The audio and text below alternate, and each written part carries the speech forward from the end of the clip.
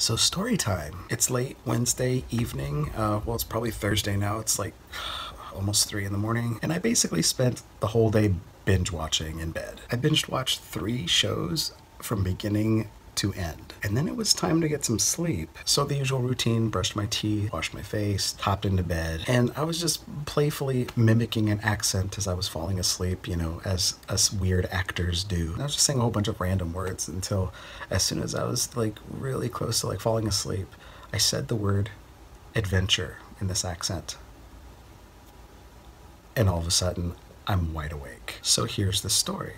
Rewind the clock 11 years. I'm still in college. I still have a 32 inch waist. And I do what anybody does in small town, small college town America. I go to the mall. Every month or so, there's like something happening. There's like a fair, then there's like acrobats or something. Well, what woke me up tonight was um, this one incident where there was an exhibit. You had to pay like tickets to get in, but I didn't have any money. It was this was like right after the holidays or something like in the middle of January. But like always, whoever came into our tiny little town and neighboring town always brought like a few semi trucks with them. And me, being the wandering little adventurer that I am, curious about people who are outside of our tiny little cooped up town. A boy raised in the country but longing for more adventure. And I remember there was like four girls and a guy that were all helpers and handling stuff. And I just struck up a conversation with them. And I asked, you know, like, how did you get into this? How do you think about this whenever searching for a job? And almost every one of them said the same thing. Oh, well, this this job found me. And after a while, they were saying, well, you've got quite an adventurous soul too. Maybe you ought to come with us. And I thought they were just kidding. But they mentioned it again, like later in the conversation and I'm just like, oh, no, no, no, I don't know anything about all this stuff. And like, oh, well, neither did we. And I was like, really? They're like, yeah, we all just like live together as one big happy family, and you just learn on the job. I needed a job, and this popped up, and it's it's been a wild ride. Now, I will admit, I was in a very angsty, depressive state. It took me a long time to finish school, and I had been aching to get out of small town Central Texas for the better part of a decade. So the more they kept talking about this, the more enticing it began to sound. And I kept trying to talk myself out of it because, you know, everybody there was like pretty like rugged and whatnot. And here I am, little soft old me. And I told them like, would I even I even fit in here? And I remember this one girl who was in the back and she just sort of yelled out. I never got to see her face actually. She said, Oh, you'll fit in here.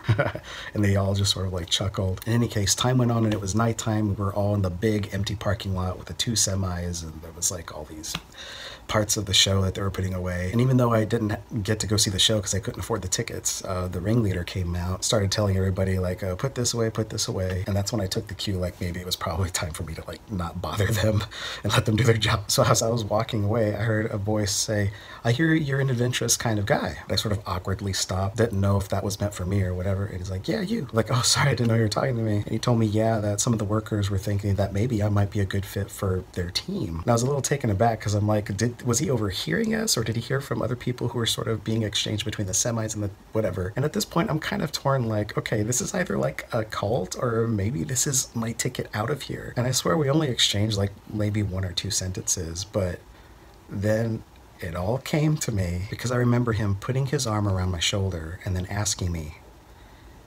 You think you'd be ready for this kind of adventure? Adventure. Ad- adventure was the word that woke me up. And I, I, I chickened out. I mean, I'll be honest, I just flat out chickened out. And I'm just like, what am I talking about? I can't leave like my family.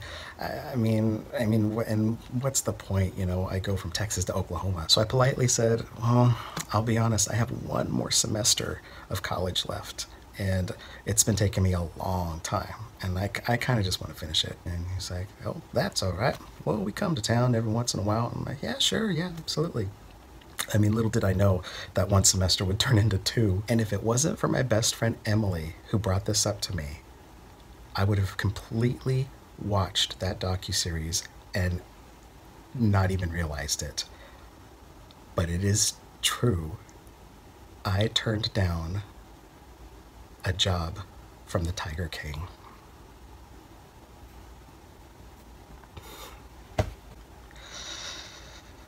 Weird. So I'm going to chew on that for a while. Story time over, the end, and good night.